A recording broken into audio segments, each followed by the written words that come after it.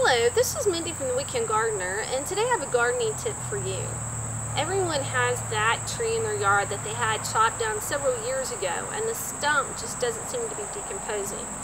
What do you do? Well, there are a few at-home techniques that you can try before you make that phone call to that professional tree trimming service that says they can remove stumps. One of the techniques I'm going to talk to you about today is using Epsom salt. Epsom salt that you can get at your local drugstore. Now how we're going to use Epsom salt in this process is we're going to drill 3 8 holes in the trunk of the tree that has been cut as close to the ground as possible. And you want to make sure that these holes are 10 inches deep. Actually, the deeper the better in this technique. Now, what you're going to do is, is you're going to fill each one of those holes to the rim with Epsom salt. And you might have to work it in a little bit, smooth it with your hand, but you want to make sure that you have the holes full.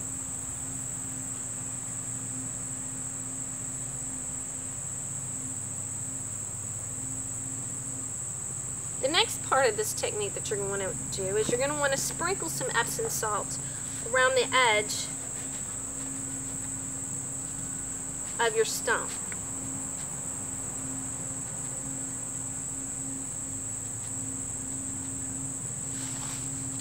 Once you have done that, what you're going to want to do is you're going to want to cover the stump with a tarp. Now the reason for this is you want to keep water off that. You want to allow that Epsom salt to start decomposing and killing that plant material.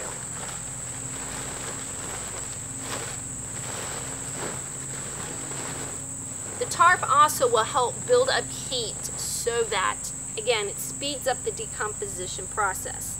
Now make sure that you secure your tarp down with some type of weighted item. It can be bricks, it can be bags of mulch, whatever you have lying around.